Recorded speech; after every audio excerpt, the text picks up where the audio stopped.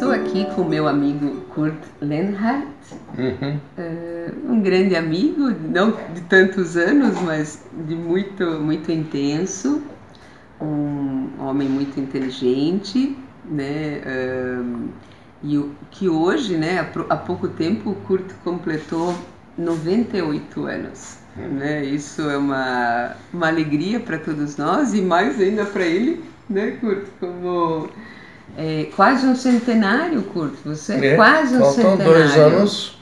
E vai virar um Se centenário. não pegar uma dengue, chego lá. Ah, Então, Kurt, até me conta. Kurt já escreveu para o nosso site, o portal Terceira Idade. Ele sempre trabalhou na área de consultoria, a área humana, a área administrativa.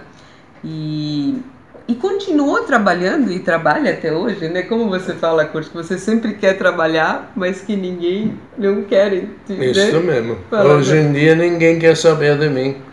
Então eu não tenho utilidade de momento. As pessoas não.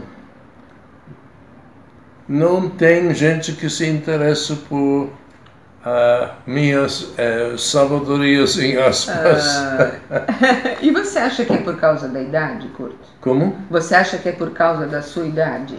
Não sei se é por causa da idade isso influencia.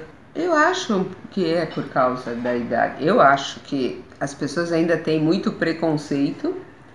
Sim, assusta um pouco, a idade assusta um pouco. Por isso que eu acho até bacana que eu pensei muito em fazer essa entrevista com o Kurt para mostrar para muita gente, né, para o pessoal do portal, para as pessoas que, que às vezes nunca tiveram a convivência com uma pessoa mais velha, quase centenária, e que é possível você se manter bem. Claro, existem vários tipos de situações e pessoas, né?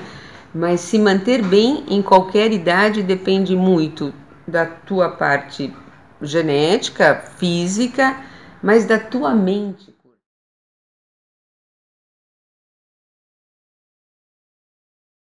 E até ia te perguntar, Curti, mas você que passou pelas fases do que hoje em dia se fala muito no envelhecimento, mas se fala no mais 60. Aí depois vem. E que acontece depois? Existe o mais 70, 80, 90, 100, Justamente a 110. teoria era de 7 em 7 anos, 0 a 7, 7 a 14, 14 a 21, 63. Aí acabou a teoria. Agora, com os remédios modernos, 63 é muito mais crise de meia-idade do que a ideia para se aposentar. O Sim. pessoal pode se aposentar eh, fisicamente, fazer, requerer a aposentadoria, mas eh, a vida definitivamente não acaba com 63. A gente não acaba se recolhendo ah, hum, para casa e não acompanhando mais o mundo. A Isso gente também tem que. com 63 está muito bem.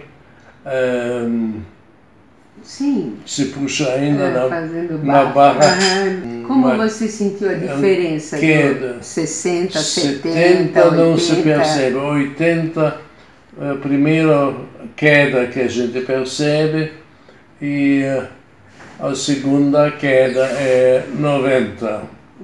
Com 90 a gente percebe que está mais lento. Isso acontece com gente de 30, 40 também.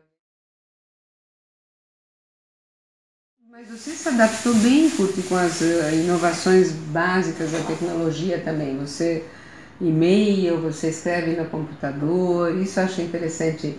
Sim, Eh, eu, celular, WhatsApp. Sim, eu ando, eu na, na esteira, eu faço exercício, musculação, faço. Quer dizer, fisicamente a, a gente tem que batalhar para se manter e E também na tecnologia. na tecnologia é você... simples, Sim. né? Quer dizer, digitar no computador é bastante fácil.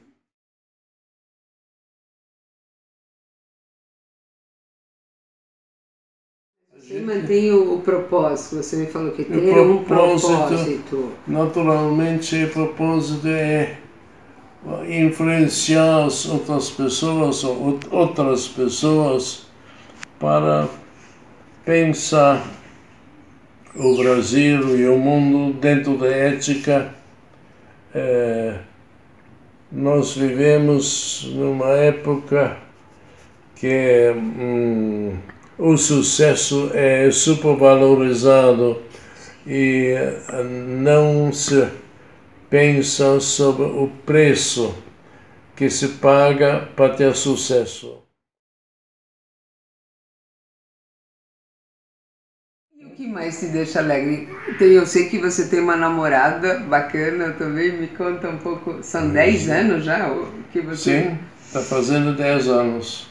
Pois é, quando eu tinha 88 anos, eu achei que era um jovem bacana e cantei a, a Miriam, que tinha 66 anos, me convencendo que eu sou um homem inteligente, forte, moderno, etc.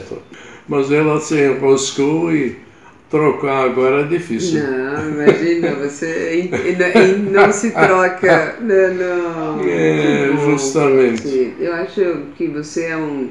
É, é como fala. Tem que perguntar a ela por que não, que não troca troca porque não acha outro igual.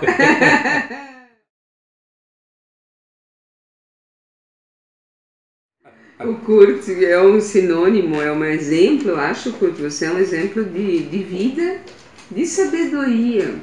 Sim, a gente. De vivência. de... Gustavo Bou faz uma reunião com gente que se acha velho, que tem 60 a 70 anos, que se acha velho, e chama mais velhos, mais sábios. Mas é tudo criançada, 60, 70 anos.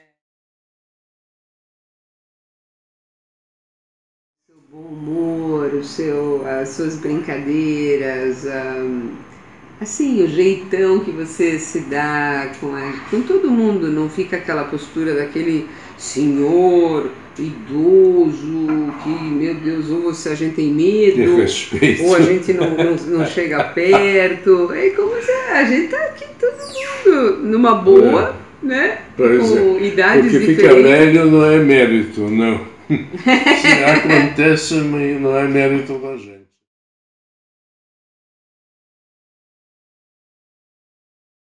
Eu acho que uma coisa principal é tua você é muito persistente, pelo que eu vejo, muito positivo. Isso a gente tem que ser. Justamente quem já uh, pelejou com problemas de saúde, com problemas de trabalho, com pobreza, tem bom motivo de gratidão que eu tenho essa vida que eu levo. Isso é bom, porque muita gente até mais então, nova. Tem uma casa boa, Sim. tem uma filha que cuida de, de mim, me dá casa direitinho e tem uma namorada Linda. que não cuida também, mas é ah. é divertida. É, é incentivo na vida. E é alegria. Alegria e que é muito importante. Muito importante.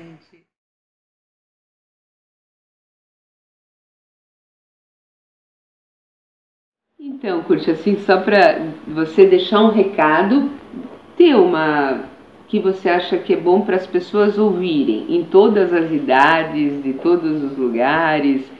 Qual um, uma ideia bacana que você gostaria? Justamente, a gente não se levar a sério demais, olhar um pouco com ironia para si mesmo, não se levando sério demais, as coisas ficam bem mais fáceis. Ah, concordo, muito bom. Oh, obrigada por te dar um beijo.